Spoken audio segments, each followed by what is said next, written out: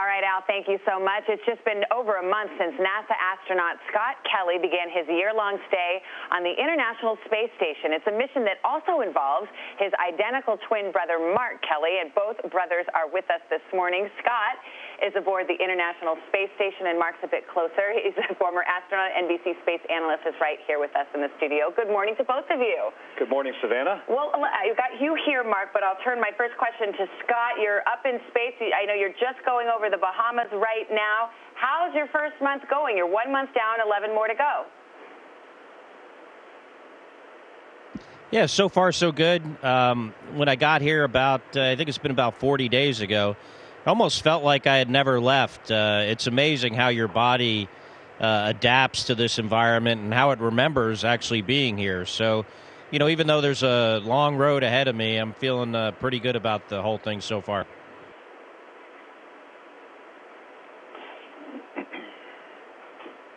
You've got five other astronauts aboard the space station with you. I'm imagining an episode of the real world. How is it actually going up there? How are you guys getting along, and how's your work going, more importantly? Yeah, we get along great. You know, we're all professionals. We're in this together. It's, uh, you know, it's a tough environment to live in, but uh, you know, as as a team, we we get through it, and uh, our work's going great doing a lot of uh, science, doing a lot of work on the space station itself.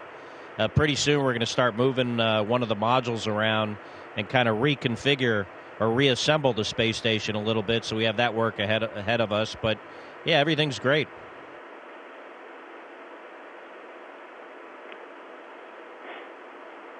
And Mark, you are part of this study, and this is it's kind of a dream come true for NASA because you have two genetically identical individuals, one spending a year in space, one down here on Earth. Tell me about, I guess, the, the possibilities that this creates for NASA researchers. Well, let me let me first back up why we're doing this. So we have a good sense of what it takes to fly in space for six months.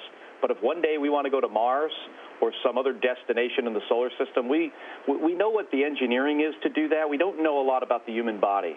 So Scott's spending a year in space, and NASA studying both of us because we are genetically the same.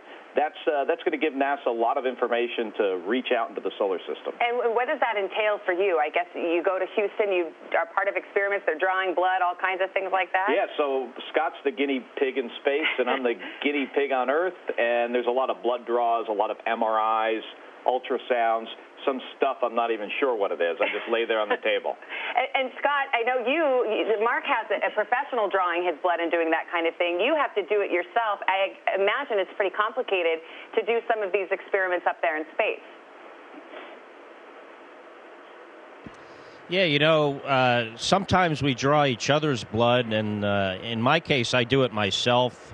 Uh, when I it was suggested I do that to save crew time, I thought there was no way I'd be able to do it. But uh, for whatever reason, it doesn't hurt as much. It's easier, more convenient for me. But because of how many times I have to do this, it's more convenient for me to do it myself. So uh, yeah, I do the blood draws myself, and I also do a lot of the other things with uh, guidance from the ground, like the uh, the ultrasounds, for instance, whether it's my eye or heart uh, carotid, brachial arteries, my leg muscles. All of those are done as, as me as the operator with help from the ground. And we have some other imaging devices too that we use, especially on our eyes that, that the crew members on board are the operators, where, like you said, Mark has uh, professionals helping him.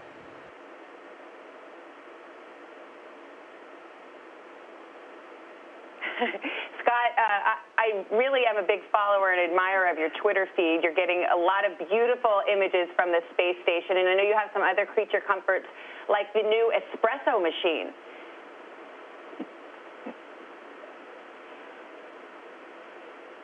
You know, the, the space station is actually a, uh, you know, even though it's a remote place and it's a tough environment because you can never leave, there's no running water, um, you have a lot of work to do, you're always at work there are little things uh, that make life here more normal, like the espresso machine, which we just got running, uh, which, by the way, is a science experiment, and we only have 15 uh, espresso capsules, so we're kind of rationing those.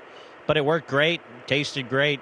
Um, recently got a uh, projector television to use for work-related things like video conferences and uh, and some software we, we can look at on it, but we also use it to watch movies. So, yeah, some of those little small things uh, make a big difference up here.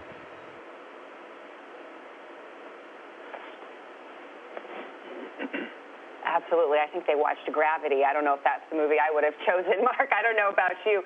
It turns out, and I won't get into all the reasons scientifically, that you are now aging a little faster than your brother up in space. So when he comes back, you will be three milliseconds older. Do you have any older brother advice? Well, that's what. Well, I'm already six months older, so I'm going to gain another three milliseconds, and that's uh, Einstein figured that out, right? Yeah. General uh, theory of relativity. So, um, yeah, we'll see what see what happens with those three milliseconds. You should ask him to like flip over upside down so people can see he's in space. Oh well, let's do it. I, your your brother suggested you do some party tricks, Scott, as we as we leave you. Can you can you show us some weightlessness? Yeah, he sure will. But first, I need to correct my brother. He said he was six months older. He's really only six minutes older. I know sometimes he thinks he's more like six months, but it's really only six No. minutes. Okay. I was wondering.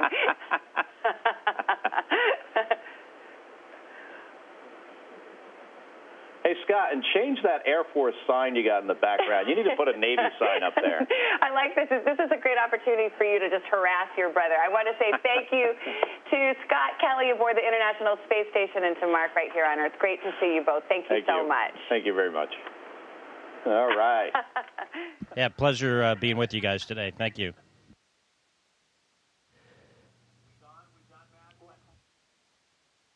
Thank you.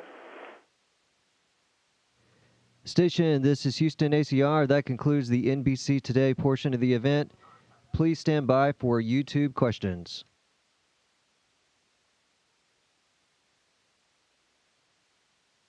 Hello, I'm Hank. So you're spending an entire year in space, which is cool, but you're also very much offering up your living body for scientific experimentation here, and you are going to have significant health impacts because of this research. What makes you willing and even enthusiastic to do that?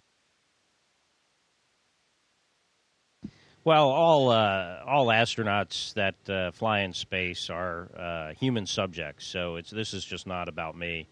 It's uh, you know something we all do. Uh, certainly, I'll be up here a little bit longer, um, but the reason I'm willing to do this is I think it's uh, important research that we do, and it's going to be critical someday to us, you know, going further out into space and hopefully to Mars someday.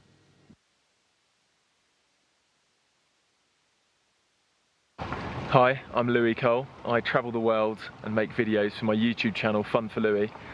And in my adventures, I find there's a lot of obstacles I come across. What's been the biggest obstacle of the mission that you're on, and how did you overcome it? Well, uh, this is my uh, fourth time in space, my second long duration flight. So I kind of eased into this uh, pretty easily. It kind of felt like I had um, really never left. It's really amazing how your body remembers the environment. Um, I think, though, the biggest obstacle or the biggest challenge will be the, the duration of, of this flight. You know, just being here for so long, never being able to leave, never being able to leave your place of work. So, you know, so far it's been a pretty seamless transition, but I, you know, I expect as I'm here longer, it'll be uh, get more challenging in that regard. Hi, Astronaut Kelly. I'm Emily Graslie from the Brain Scoop, standing in front of our meteorite collection here at the Field Museum in Chicago. My question for you I know you're studying your immune system's responses and functionality while living in space for a year. So, considering how much of a person's healthy immune system has evolved for millions of years along with life forms on Earth, do you have any predictions for how humans could maintain a well balanced microbiome while living in space without things like plants, animals, or microbes gleaned from life forms on Earth? Thanks. You know, that's a good question. I, I do know that one of the studies I'm participating in is this microbiome research. Um, you know, we do get some, you know, fresh fruits and vegetables up here, and our diet is, uh, you know, not exactly the same it is on Earth. But uh, I really hadn't considered that. You know, what the impact uh, to living here on the the microbiome of our, our bodies is. Um, but I guess you know there is some, and certainly that's why we're doing the research. So hopefully, uh, you know, this experiment will will find those answers. I, I don't have a personal hypothesis, but I'm sure, you know, the experimenters do. And if you want more information, I'm sure your NASA contact, uh, you know, can can get that for you. Hey, Mr. Kelly, Kyle Hill here from Because Science on the Nerdist channel in Los Angeles. I'm wondering, surveying the popular culture landscape and what you know of our future space missions, what do you think will be the thing that inspires the next generation of astronauts to be the first generation of Martian astronauts? Thanks, and good luck. Well, you know, I hope uh, kids get inspiration from uh, the space program like they do other places. Uh, you know, hopefully, what we're doing here inspires kids to study uh, STEM education, science, technology, engineering, math subjects, because those are critical uh, to our future, not only our space program, but to our economy as a whole. So, you know, I hope they get some inspiration from what we're doing here. I hope they also get inspiration from, you know, their friends and family and, uh, you know, people that they uh, learn from, their teachers, um, you know, whatever role models they may have, because that uh, our future, and you know, kids are our future. Hi Scott, I'm Henry Reich from the YouTube channels Minute Physics and Minute Earth. I've always been fascinated by the instability of rotation around the intermediate axis of an object. For example, if you rotate around the axis of large angular inertia, it's a stable rotation. If you rotate around the uh, the very smallest axis of inertia, it is also a stable rotation. But if you try to rotate around the intermediate axis of rotation, it's unstable. You see these things flip back and forth, back and forth, and back and forth. And you can see this is obviously a challenge here on Earth because we have to throw things through the air and it's a mess. And I was wondering if you might be able to do a demo for us on the ISS. Thanks for your time and I hope you enjoy your year in space. Yeah, I guess what you're talking about is how this Leatherman tool is ro- it'll rotate along one axis and then flip over. Um, so I hope that was a good demonstration. I'll do it again here real quick as we go to the next uh, question and hope you can see this.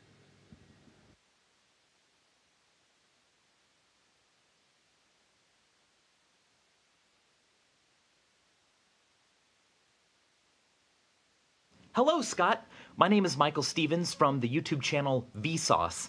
Uh, I'm asking this question from Toronto, Ontario, and my question is about cosmic ray visuals. I've heard that up in space, stray cosmic rays can cause you to see flashes of light. Has that ever happened to you? And if so, what does it look like? You know, the first time I saw those was on my Hubble Space Telescope uh, mission in 1999. The Hubble flies a lot higher than the space station, so we can see a lot more of those cosmic rays. Uh, I would see, you know, on order of maybe like 50 an hour. Uh, but the space station is, is lower and a little bit more protected from those. Um, and you see them much less frequently, although I'll see, you know, maybe a few each night. Uh, in my previous experience with Hubble, they were very much more distinct and would kind of look like they were just white flashes of light like a firework that was kind of radial towards the center of my eye. Now they seem a little bit different, uh, and I don't know if that's because of the altitude we're at, but a little bit more not as uh, well defined, not uh, and and kind of more random in in you know how they uh, uh, streak across my field of view. I guess I should say, but um, you know I was thinking about it last night when I saw one thinking about, hey, not only is this thing going across my visual field, but it's also going through my brain.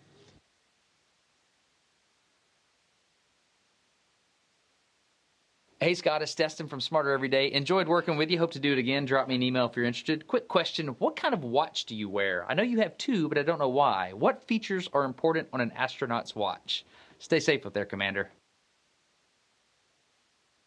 Hey, Destin. Uh, good to hear from you. Um, so normally the watch I wear up here is an Omega watch. Um, because uh, one reason the Omega is good is because it has a very loud alarm. It has a light that is very bright.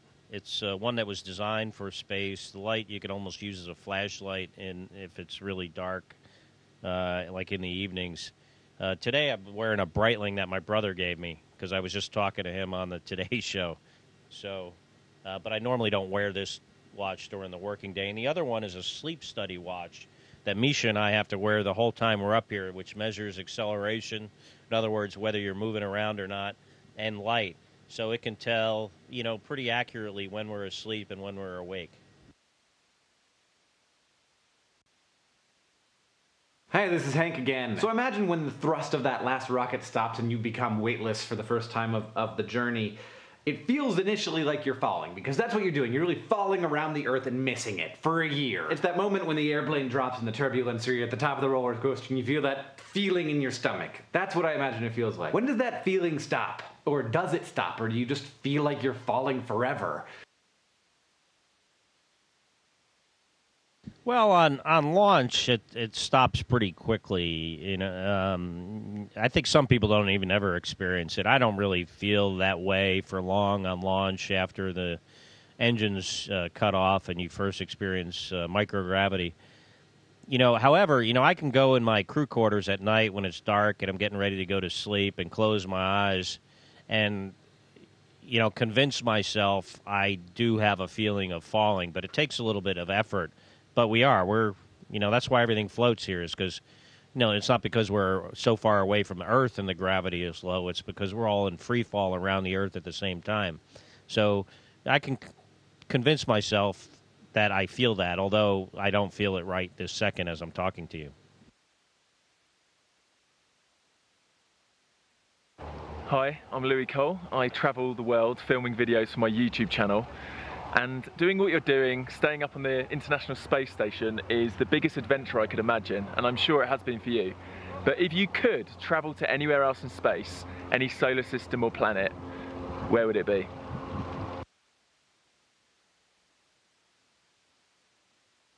You know, people normally ask, you know, if you could travel to any other place in our solar system, and then I generally say Mars. But the way you pose the question, I think if I could go anywhere, it would probably be to a planet that astronomers and scientists have de- uh, determined is most like Earth, and uh, you know to see what's really there. You know if there are living creatures, or, or you know just how that planet is evolved and how similar it really is to our home planet. Station, this is Houston ACR. That concludes the event. Thank you.